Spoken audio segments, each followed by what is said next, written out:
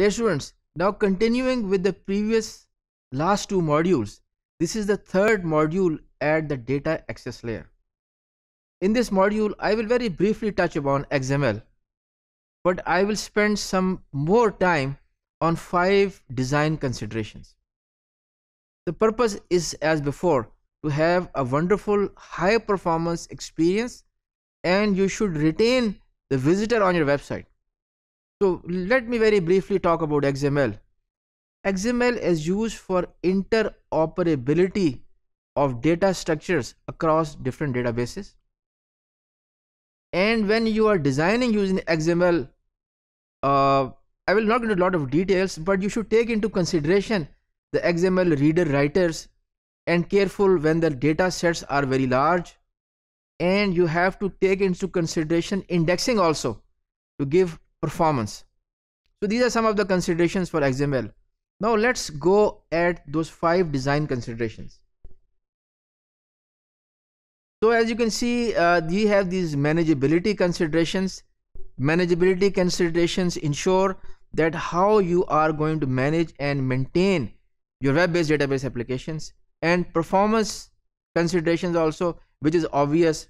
Security considerations are obvious. Deployment considerations how do you place engage install deploy your wonderful web enabled database applications? And finally the technology considerations. Because uh, i will show you a table also uh, with reference to technology considerations. The point here is that being a web-based database designer you should be able to translate transform convert the requirements into the technology. That if, if this is the requirement this technology should be used. If this is the requirement this technology should be used. This of course will become clear as i show you the table. So uh, manageability considerations use common interface types. Because if you create your customized interface types everybody is not accustomed to it. So when you have these common interface types then it becomes easy to manage your applications to maintain your applications and use custom entities. Now you see that there's a difference over here. That over here we set common over here they are custom. They are not the same. Why? Because for certain case for the entities you will use the customized entities to manage to have your application more manageable. Derived business entities from base class. Okay? Because the system has been designed based upon certain requirements and your business entities should be based upon those base classes that will make managing your application more manageable kind of circular. Performance considerations, connection, pooling and simulate load. Now remember one thing, uh, when you pool the connections, the, the, the, the benefit of pooling the connections is that you don't have to repeat certain things. That is one benefit. Simulating the load, I have seen in, in real life that people come up with very tall claims about how their application is going to perform theoretically but simulate the load please put the load in terms of the number of users in terms of the data transfer in terms of the number of requests and so on that will give you an idea about how your application is going to perform. You are not going to wait till deploying your application and seeing it crash in the worst case. Tune isolation levels of the queries batching the commands. This i have already mentioned in the previous module also that if you are doing something like this again again again okay this will take more time. But if you batch them together then the overhead is amortized across these requests gives better performance use optimistic concurrency try to have execution in concurrency and use the ordinal lookup all of these things add to a good high performing web-based database applications. Of course, details are there in the notes. Security considerations use Windows authentication.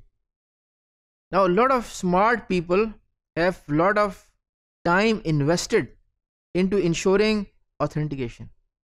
which is in the windows so a better approach is use the windows authentication encrypt the connections i'll have more about uh, encryption in the subsequent modules so when the encryption is uh, is there in the connection end to end it will of course ensure the integrity and the security and the privacy of whatever is passing between the receiver and the sender. I'll have more in the subsequent modules. Use salt hash.